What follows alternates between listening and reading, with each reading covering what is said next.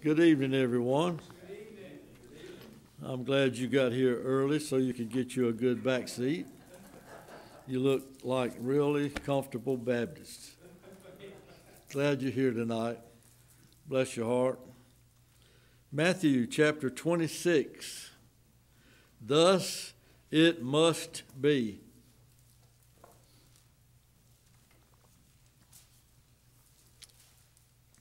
Matthew 26, beginning with verse 47. And while he yet spake, lo, Judas, one of the twelve, came, and with him a great multitude with swords and staves from the chief priests and the elders of the people. It wasn't the city police or the Roman army, it was the Jewish hierarchy, the chief priests, and the elders of the people. Now he that betrayed him gave them a sign, saying, Whomsoever I shall kiss, that same is he, and presented him like he was some kind of horrible felon. Hold him fast. And forthwith he came to Jesus and said, Hail, Master, and kissed him. And Jesus said unto him, Friend, wherefore art thou come? Then came they and laid hands on Jesus and took him. And behold, one of them which were, were with Jesus, John chapter 18 tells us it was Peter, stretched out his hand and drew his sword and struck a servant of the high priest and smote off his ear. Then said Jesus unto him, Put up again thy sword into his place, for all they that take the sword shall perish with the sword. Thinkest thou that I cannot now pray to my Father, and he shall presently give me more than twelve legions of angels? According to Google and the International Standard Bible Encyclopedia, one legion contains six thousand men. So you figure it up 12 times 6,000. But how then shall the scriptures be full, fulfilled, rather, that, and here's our lesson title, thus it must be. In that same hour said Jesus unto the multitude, Are you come out as against a thief with swords and staves for to take me? I sat daily with you teaching in the temple, and ye laid no hold on me. But all this was done that the scriptures of the prophets might be fulfilled. Then all the disciples forsook him and fled. It's very interesting in verse 56 that it says the scriptures of the prophets must be fulfilled, and then it says this one little news item all the disciples forsook him and fled. Go back to verse 31. Then saith Jesus unto them, All ye shall be offended because of me this night. For it is written, I will smite the shepherd, and the sheep of the flock shall be scattered abroad. So here again we have it written, and Jesus speaks of it. It is written. And so when he brings this up in verse 56, that which was written came to pass, and at that moment all forsook him and fled. It seemed like the Lord would have mankind, especially his church, but all mankind, act out God's predestinated providences. That they didn't forsake him and flee until Jesus said, This is written, and he had told them, what was written and what would happen. And when he mentioned the scriptures again, they did do that. But I want to center our thoughts on that phrase, that last phrase in verse 54. Thus it must be. The book of James, chapter 5, the fifth chapter of the book of James.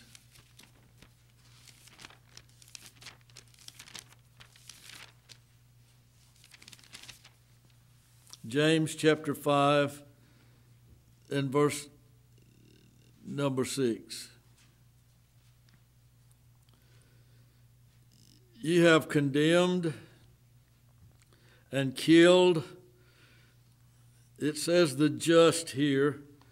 It's the same word translated righteous in verse 16 of this chapter. Ye have condemned and killed the righteous, and listen, and he doth not resist you. There is no resistance whatsoever. Amazing. John chapter 10. One of the good things in our life is the church. One of the things that have really caused us to be calloused concerning this particular subject is the church. We've heard it all our life.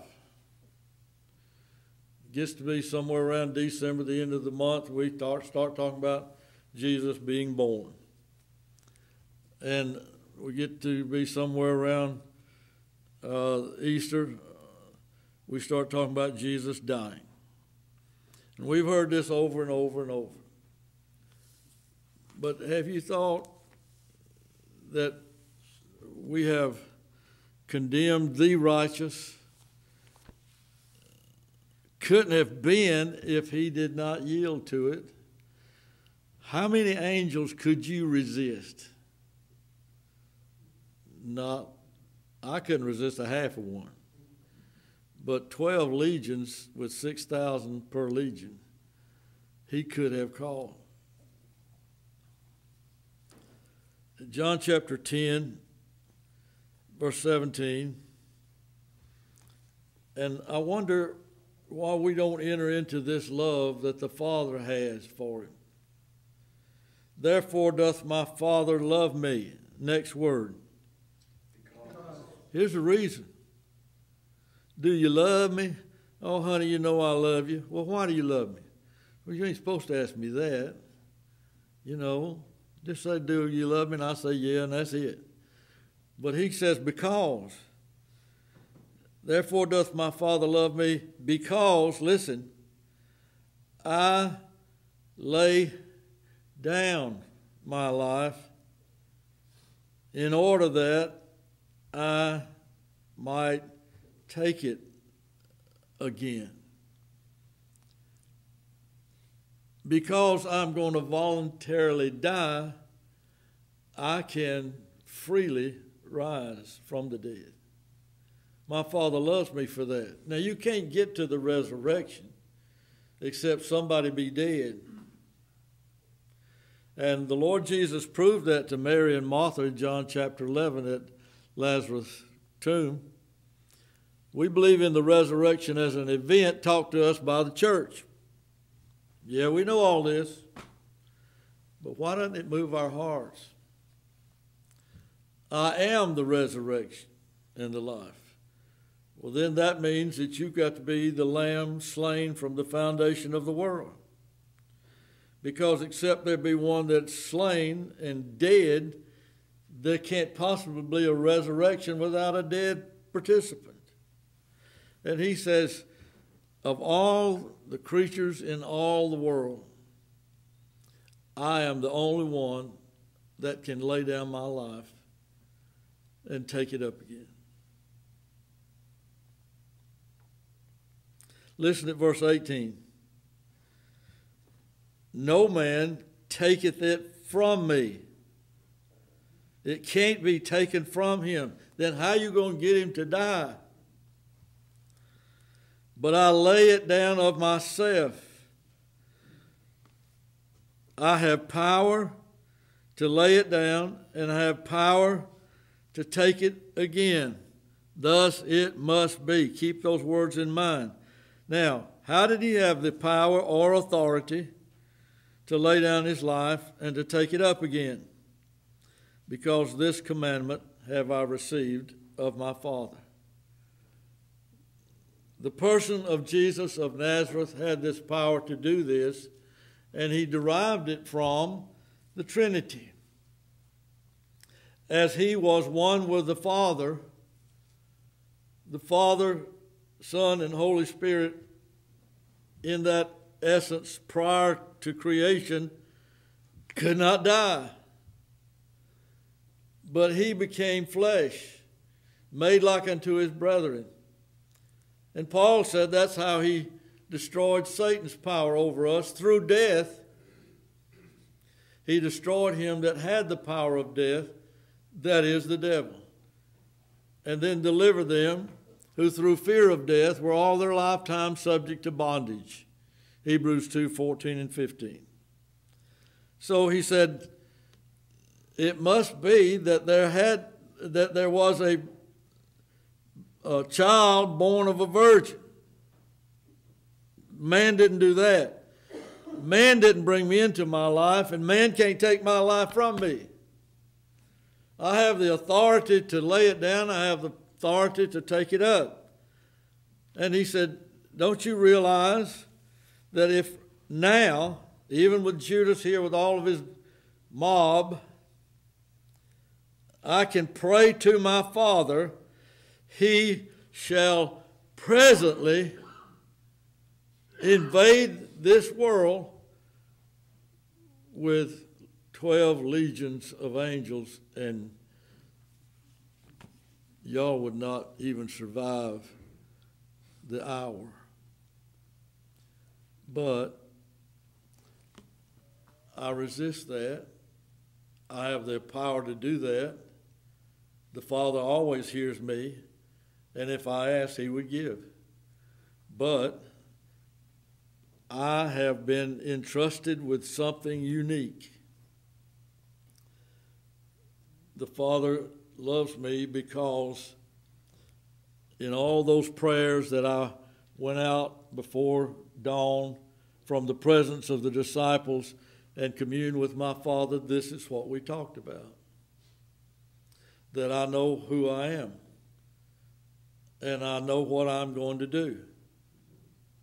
And I know it's not going to be easy, but I know that it's going to be pleasing to my Father and cause Him to be satisfied with all the elect of God that are chosen in me by the Father. So I'm going to do this. Thus it must be. John 16. John 6, no, excuse me, I'm sorry, John 11. John 11 and verse 42.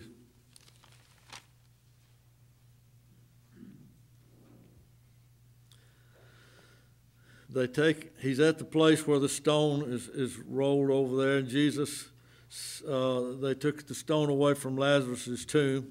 Jesus lifted up his eyes in verse 41. He lost consciousness of the present surroundings as far as that which he was focused on, not literally losing conscious of it, but had an awareness of God. And he says, Father, I thank thee that thou hast heard me. And I knew that thou hearest me always. But because of the people which stand by, I said it, that they may believe that thou hast sent me.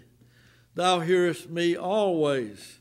So, don't you realize that I can now pray to my Father, and he shall presently give me 12 legions of angels? Do you realize that eternity in hell would be the plight of everyone here tonight? Except one man who was spit upon, lied on, did not receive a just trial. Everybody that said they were his followers abandoned him, and he tread the winepress alone. Even God the Father turned his back on him. What would you give to somebody like that who would pay such a price just to keep our souls from burning in a devil's hell. And he said, Thus it must be. Thank you, Lord. I'm glad you are determined that this must be. Well, you ask yourself, okay, God the Father can't take his life. God the Holy Spirit ain't going to take his life. The, the Roman government can't take his life. The Jews can't take his life. There's nobody in the world, no man taketh my life from me. I alone have the power to lay it down. Well, then, what caused it to click for him to say, I release my spirit? He, King James, gave up the ghost. That is, he released his spirit. And when the spirit separates from the body, that's death. What made him do it?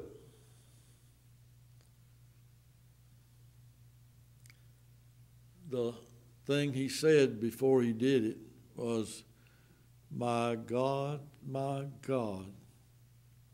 Mm. We did that to him. When the bridegroom closed with the church, she was in debt. She couldn't pay the debt. She didn't have anything to pay it with. She was bankrupt. The first Adam left her in this mess. Now the husband owes her debt. You marry her, you become responsible for her debt. So he doesn't say, My Father, my Father. Teach us to pray. Okay, our Father which art in heaven. Can't do that now. I am at one with the church, and her sin is a debt that she owes God. The transgression is so great, there's nobody in this whole universe heaven, earth, or hell, under the sea, in the air, whatever. Nobody can pay her debt but me. Well, when are you going to lay down your life for it? What makes you lay down your life? When the last relationship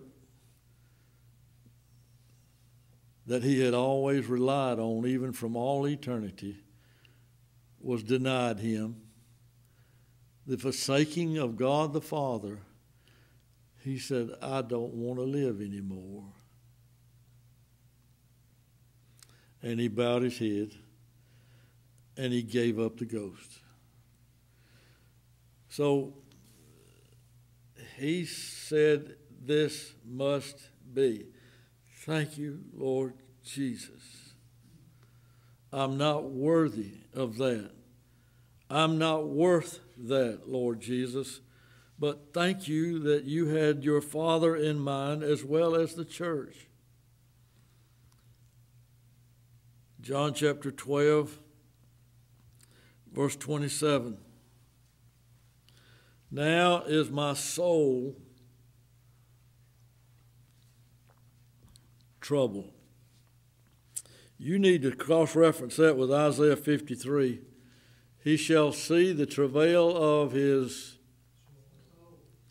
not his arms with the nails in them, not his feet with the nails in them, not his brow with the thorns on them. He didn't see the travail of his side with the spear in it. He was looking at the travail of his soul. This is the soul of the God man. And he says, Now is my soul troubled. And you would ask me, What shall I say? Yeah, we want to know what shall you say? Your soul is troubled. And you say you have the power to lay down your life, the power to raise it up again. No man can take it from you. This commandment have you received from your Father. So, yes, Lord, what's troubling you? What shall I say? This is my dilemma. Father, send 12 legions of angels you say that's not what it says. We can connect that to Matthew 26, 54. I, I, my Father will presently send 12 legions of angels. Father, save me from this hour. And he says, This is my dilemma. But for this cause, came I unto this very hour. When God started the earth to revolving around the sun as he hung the universe in space, when that first movement depicted the, su- the succession, and that's what time is a measure of succession. When that first succession, as that earth turned on its axis and went around the sun, that started time and it started exactly at the point it was supposed to to bring me to this exact hour. Nobody could keep this hour from coming. Nobody could halt the functioning of the universe for me not to come to this hour. And he said, We're here. He had prayed in John 17, Father, glorify thyself. And it was at the time when he said, Mine hour, the hour has now come. This hour. Every tick and every talk of every clock for all the centuries had come down to this hour. Do you think he should not be troubled? How is it possible that he wouldn't be? Do you understand that he that is life is going to die? How can you kill life? But that's what's fixing to happen. What is the greatest thing you've ever uh, read about or heard about in the history of the world? Well, the explosion of Mount Vesuvius, if I say that right. No, it was the great flood of Noah. Well, it was it. It was this hour when God, the mighty maker, died for man, the creature's sin. Well, did the sun refuse to shine and hide its glories in when God, the mighty maker, died for man, the creature's sin. Ooh. And yet you have power not to do it? Yeah. I'm the only one that can say, I will or will not die. No man takes this from me. They can't do it, it's impossible. And Yet we hear you, blessed Lord, say, This, thus, it must be. Yes. And we heard you say that and connect us with the awareness of the Trinity in your thoughts with one another, and let us climb Jacob's ladder, which is Christ, connected it from earth to heaven, and let us transcend our normal thoughts and say, you can call on your Father, and he shall presently send 12 legions of angels. That's possible. Yeah. And he says, but it's not probable. Because thus it must be. Did you thank God for your health when you got up this morning? Did you thank God for your breakfast? Did you thank God for your lunch? Did you thank, thank God for peace and quiet? Did you thank God that your children and grandchildren are healthy? Ah, but did you thank Jesus that was determined and put the word must in this to govern himself in that which no other creature could govern him in.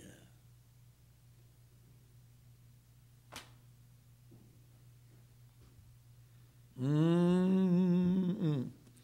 First John chapter 4.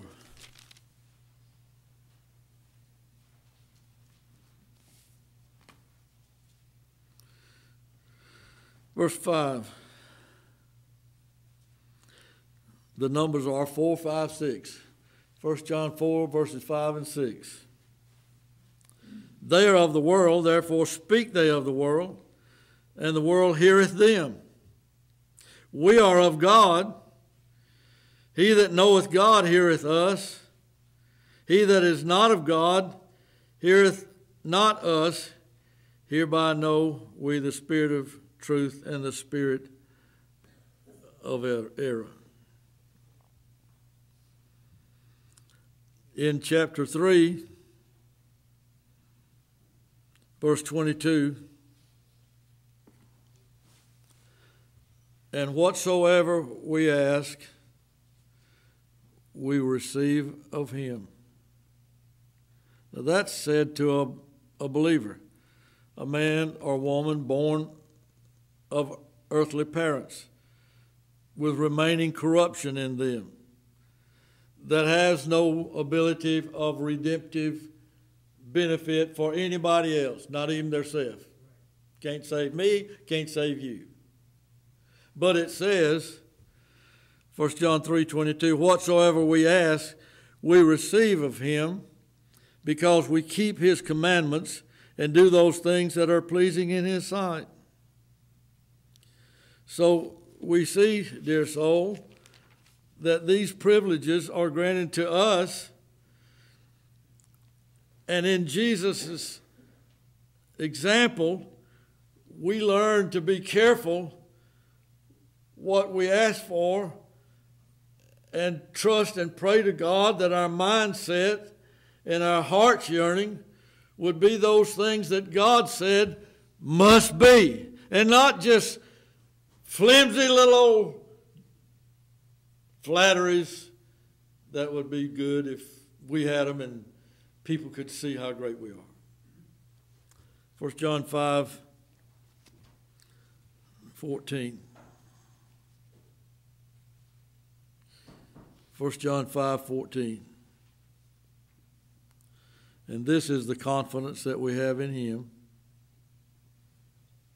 If we ask anything Next phrase, please. According to his will. Not my will, thine be done. You can add, as Jesus did. You can add, nevertheless, you'll let this cup pass from me if it be your will. You can wrestle with it. You can sweat great drops of blood, as it were, in agony over something that's going to require seemingly the annihilation of your person. But why would you want to keep your own reputation when he made himself of no reputation? Why do we have to be thought well of when Jesus never was? So we have to come to this cross like attitude that Jesus had.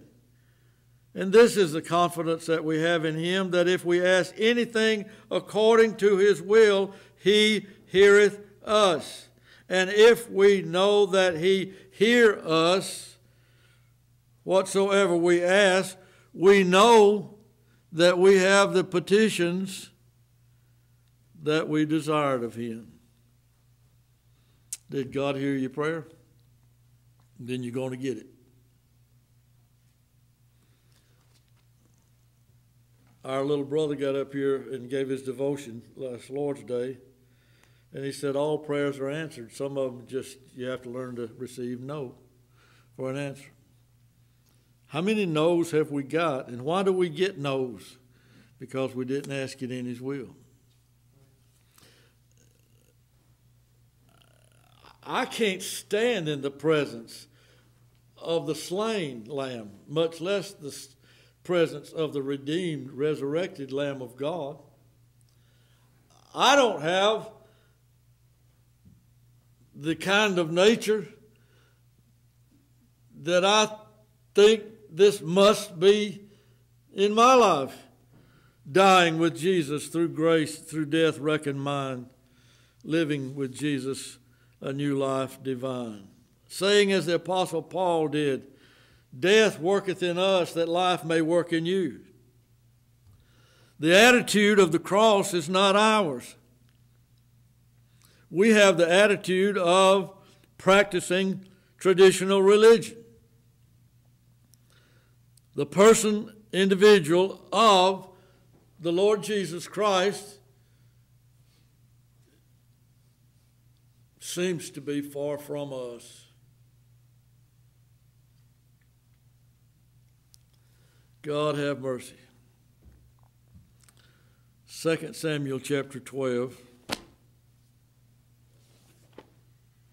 You know I couldn't go through a service without getting in Samuel, didn't you? Who was a man after God's own heart?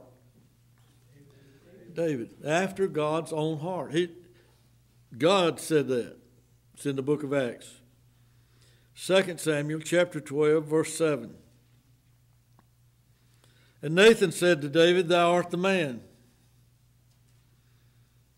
Thus saith the Lord God of Israel I anointed thee king over Israel, and I delivered thee out of the hand of Saul, and I gave thee thy master's house and thy master's wives into thy bosom, and gave them the house of Israel and Judah. Would you finish that verse for me? the house of Israel and Judah.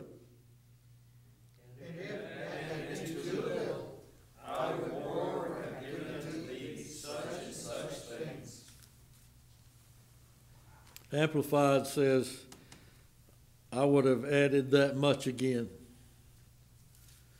The man after God's own heart was told, if you had wanted Bathsheba, another woman that bad, I would have found a woman for you. I would have given you and added to that you that much again. Look what all he lists.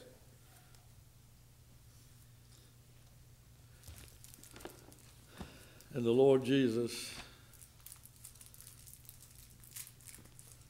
went to the slaughter as a lamb that was dumb, and he opened not his mouth, and he wouldn't ask for it.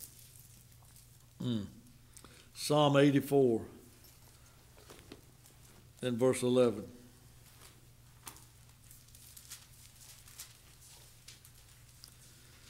Psalm 84 and verse 11. For the Lord God is a sun and shield. The Lord will give grace and glory. No good thing will he withhold from them that walk uprightly. All he had to do was ask, but he said, I shall not do that. Thus it must be. I must accomplish God's precious will. Romans chapter 5.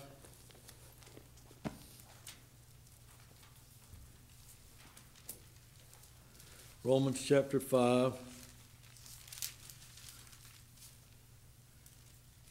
In verse number 6. For when we were yet without strength, in due time, Christ died for whom? You say, well, he, he could look down through the ages and see the glory of the church redeemed, washed in the blood that ain't what this says. It says that there was nothing in heaven or on earth to encourage him except his own determination. Those he were, was to die for were the ungodly. For scarcely for a righteous man, that is a just man, lives by the law. He treats his neighbor as he would treat himself. Scarcely for a righteous man would one die. Yet perhaps for a good man, you know, one that just don't live by the law, but who is kind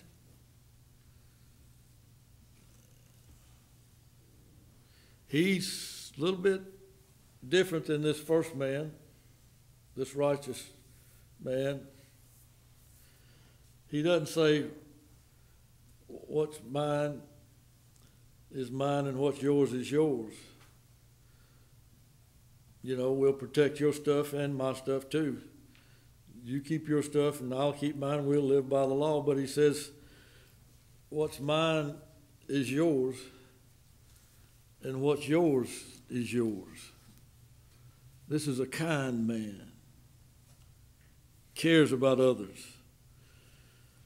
And yet, peradventure, for a good man, a kind man, some would even dare to die. What's the first two words of verse 8? But God, But God did what? commended his love Commendeth his love toward us in that while we were yet sinners, Christ died for us. Honey, it's your sister on the phone. Oh, what does she want? Well, come talk to her. He picks up and she says, I've just been given some bad news.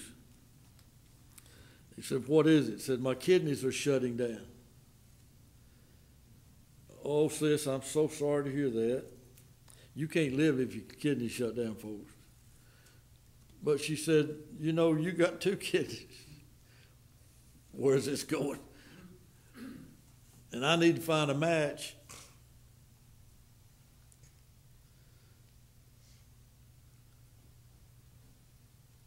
Okay, I got an extra didn't mean your life. I'll give it to you.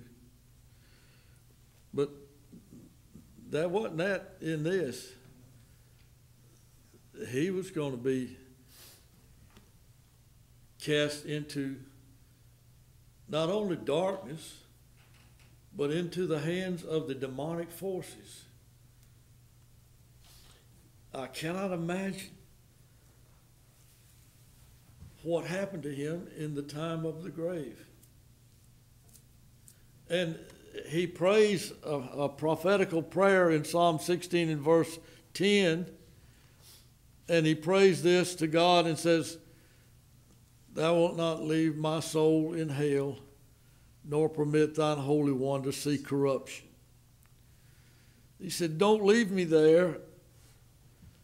And whatever you do, this holy humanity that you have birthed in the virgin's womb, don't let bacteria start breaking it down and it corrupting. That was when faith was born. He is the author of faith. He had to have faith in God, and that's his prayer, Psalm 16:10. Thou wilt not leave my soul in hell, nor permit, permit thy Holy One to see corruption. He had to trust God. And that's what he said. Into thy hands I commit my spirit. And now he goes into that which the Trinity could never have known, except the God man had said, Thus it must be. For I didn't come to this hour to ask for escape, but I came to this hour to fulfill the purpose that only I in all the universe could accomplish satisfaction of God, the redemption of all the elect, but the obedience of the Son of God to do that which he said, My Father loves me because I keep his commandments. He did that which was pleasing to my, his Father. That's what he said. That's upon which our entire redemption hangs. John chapter 15.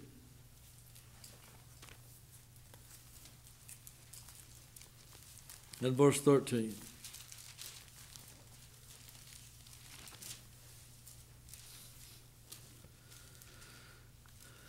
What is the greatest love? Well, we don't have to have the philosophers or people of great sacrifices to try to debate or del- deliberate. Here, the person of love speaks. John 15, 13. Greater love hath no man than this, that a man lay down his life for his friends. There's no greater love ever been expressed. And it was not for a righteous man, it was not for a just man, but it was for ungodly men.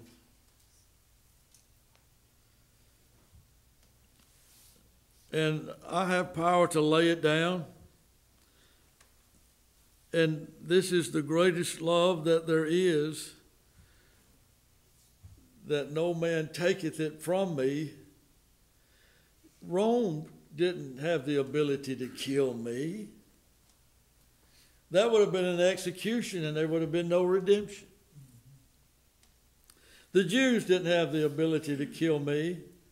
That would have been an assassination and there would have been no redemption. But how did he come to the slaughter? As a lamb, as a lamb, as a lamb is brought to the slaughter, is dumb. He opened not his mouth and said, Father, send those angels. It would, it, they would have been there that fast. He would presently have said that. He won't do it. It all depends upon his self determination. Do you ever enter into a worship and a praise and a thanksgiving to the only friend that you've ever had that had such self determination that he would rather be dead in order that you might live.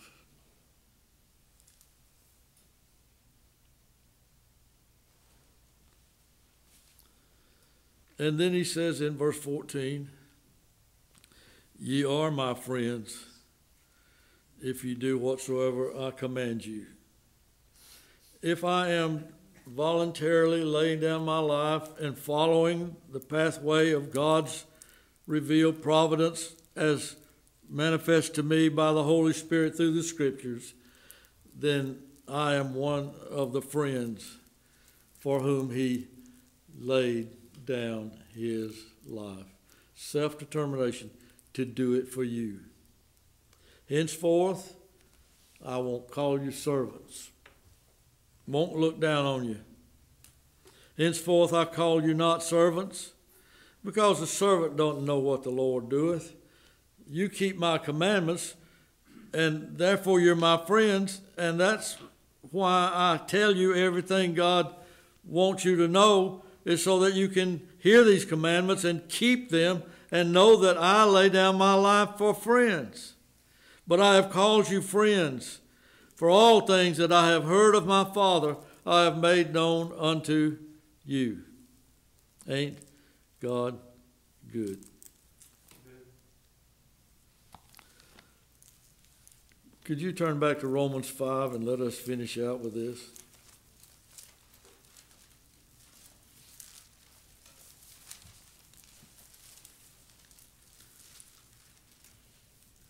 In Romans 5, in verse number six, in our relationship to Jesus Christ, He died for us because we were without strength. Also in Romans 5, in verse number 6, Jesus Christ died for us as we were the ungodly we were without God and without hope in this world. Ephesians 2:12. In Romans chapter 5 and verse number 8, Our condition was not only that we were without strength and that we were the ungodly, but we were active sinners. First Peter 3:18, you don't need to turn there. It said he died the just for the unjust. The only creature, and I hate to say that, Lord, but I don't know how to say it. The only being in the entirety of, of life, of, in, of the creation, that was just, gave his life for the unjust. Why did you do that? Self determination. Thus it must be. And then in Romans chapter 5 and verse 10, not only were we without strength, not only were we ungodly, not only were we sinners, but in verse 10, we were enemies.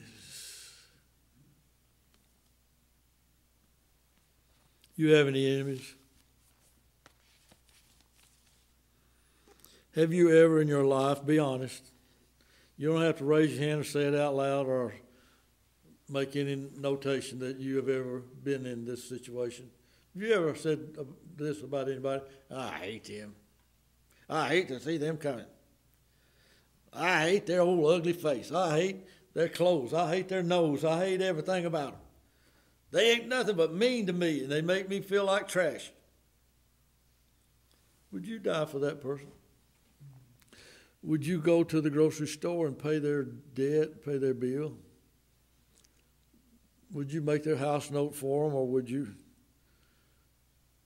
take the food out of your cupboard and give it to them? That's what Christ did for me. You don't have to get in on this if you don't want to. Colossians chapter 1 and verse 20. Colossians chapter 1 and verse 20. And having made peace through the cross, through the blood of his cross, by him to reconcile, restore all things unto himself. By him I say, whether they be things in earth or things in heaven, and you that were sometimes, number one, alienated, and number two, enemies in your mind by wicked works. Yet now hath he restored, reconciled in the body of his flesh through death. And how shall he present you? Holy, unblameable. Nothing the devil or your enemies can say will stick. Jesus Christ presents you to God the Father as without blame. You know you're not without blame.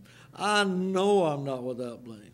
But He did such a good job that even as we were enemies, we are presented as holy and unre- unblameable and unreprovable. You can't say anything against me anymore, Jesus Christ has made me holy. There is nothing that can be brought up against you, even though the devil is accuser of the brethren day and night before God Almighty. He can't say anything. It is you are unreprovable in his sight. Woo, Jesus did a good job. And you know what Jesus said? If your enemy thirst, because you was hungry and thirsting and you was my enemy. Friend, listen, don't present yourself to yourself as some little sanctified little Sunday school student before you got saved. You're lying on yourself and you're cheating yourself as a relationship with God. We was ungodly. We were sinners. We were enemies. We were without strength. And Jesus paid it all. Let's finish by reading Romans 9, no, not Romans, Revelation 19. Revelation 19, verse number 11. Romans, why do I keep saying that? Revelation 19 and verse 11. And I saw heaven open, and behold, a white horse. And he that sat upon him was called faithful and true. In his righteousness he doth judge and make war. He's not interested in men dividing up and fighting one another. The Germans versus the British or whatever. He's determined to make war and judge according to righteousness, an entirely different realm. His eyes were as a flame of fire, and on his head were many crowns, and he had a name written that no man knew but he himself. And he just got through telling you that everything he knows, he's going to tell you, so you know his name as well. For the next verse tells you what his name is. And he was clothed with a vesture dipped in blood, and his name is called the Word of God. Now, remember those angels that he could have called? You remember he said they if he asked the Father, God would presently send him 12 legions of angels. Here comes an army with him. He didn't call for an army then, but he's going to come back with an army. And the armies which were in heaven followed him upon white horses, clothed in fine linen. And we know that the fine linen is the righteousness of the saints white and clean. And out of his mouth goeth a sharp sword, sword of the Spirit, which is the Word of God, that with it he should smite the nations, and shall rule them with a rod of iron. And he treadeth the winepress of the fierceness and wrath of Almighty God. And he hath on his vestures and on his thigh name written King of kings and Lord of lords. The Lord Jesus Christ, he said in Matthew 22 that when those citizens didn't respect him, he shall come with his armies to destroy them.